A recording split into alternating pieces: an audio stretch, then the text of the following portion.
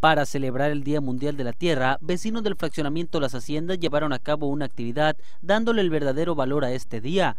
Rafael Valenzuela Encinas, quien es vecino de dicha colonia, señaló que no solo este día hay que acordarse de la Madre Tierra, pues por desgracia somos nosotros mismos los que no la cuidamos. Nosotros nos aprestamos en este momento a celebrar el Día Mundial de la Madre Tierra.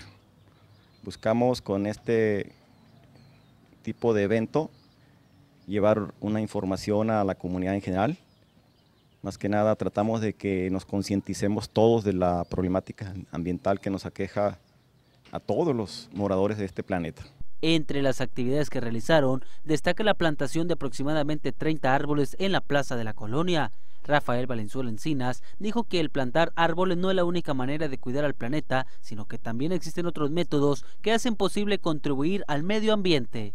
Muchos pensamos que plantar árboles es la única forma como podemos ayudar al medio ambiente, sin embargo no es lo único, no es tampoco lo más importante, es solamente una de las actividades que se deben de hacer, pero también hay otras, ¿no? Relacionado por ejemplo con el consumo desmedido, el, estilo de consumo que nos lleva ahorita a, otros problemas de, de carácter bastante importante, ¿no? Por último, el integrante de Educadores Ambientales de Cajeme realizó un exhorto a la población para que juntos cuidemos más al planeta, sobre todo a la madre tierra, que es la que nos mantiene con vida. Con imágenes y edición de Edgardo Félix, informó para las noticias Pablo Santini.